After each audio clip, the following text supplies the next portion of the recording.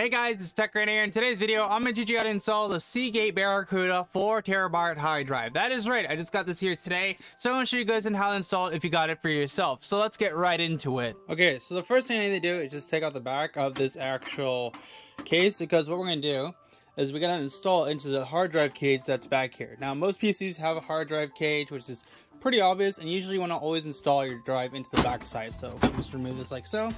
Set this to the side you can see you can kind of get access to the drive. Now I already have one 4 terabyte hard drive and also you can probably tell already pretty dirty just ignore that we're not going to worry about that for the time being so what I'm gonna do is dig through the cables and find the cables we need. So the first cable we're gonna need is of course the SATA cable like you see here. You can get these usually with your motherboard that comes with it.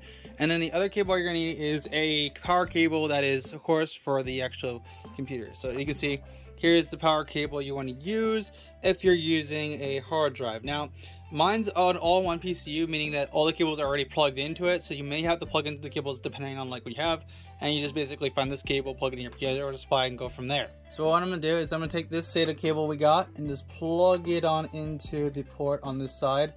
And that, SATA's all plugged in, so we got our SATA cable. The next thing we want to do is take our power cable that we got from our PSU and plug it into the power spot, which is this one right here for the actual drive. So that way it's all powered. And if we get that in there push that in like so it should be all powered and good to go. So yeah you can also tell too by looking at the back of the drive with the back of the drive would you be able to see that the cables are plugged in all fairly and good next to the PCB so usually there'd be a second hard drive cage here, but I'm not entirely sure what happened to mine. So what I'm gonna do is I'm just gonna slip this on in here for the time being temporarily. Now this is definitely not recommended at all. If you have another hard drive cage, I would highly recommend you just put it on in there and just do that. Uh, next thing we're gonna do is take that SATA cable running through a grommet from the actual storage drive and we're gonna plug it into the SATA port. Now usually your SATA port will be on the right side like you see right here, here mine. See? I don't have it plugged into this yet. Here, like look, plug it in. You wanna point the metal thing to yourself. You can see I plugged it in.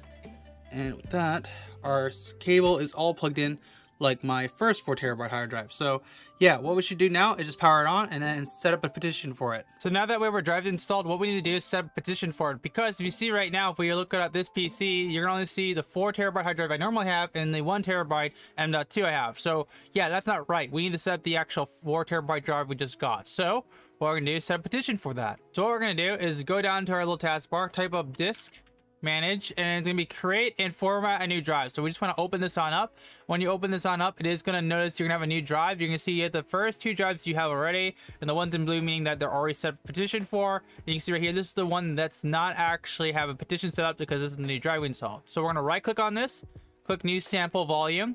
With a new simple volume we just want to click next and you just leave this exactly the same. And then you can just label this whatever your drive we want to be. So right now i have currently a C and D, not C and D, C and E drive. So I'm to make this my D drive, but you can really make it whatever letter you want to. D drives just for example. And then we're to just leave this exactly that. So, and then you can kind of label whatever you want to.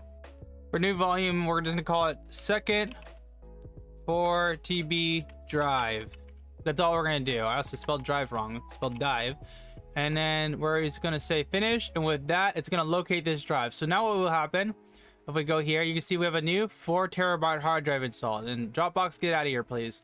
And you can see we now have access and we can put anything we want onto it. If you guys did find this video helpful, then make sure to smash the like button and get subscribed because we're trying to hit a thousand subscribers before the end of the year. So that'd be very much appreciated. But until then, I'll see you guys for another tech video. Tech Grant out.